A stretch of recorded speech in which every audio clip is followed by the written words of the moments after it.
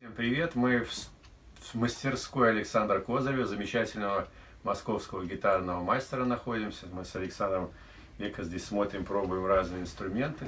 Они удивительные по звуку, по тембру. И мы немножко для вас поиграем.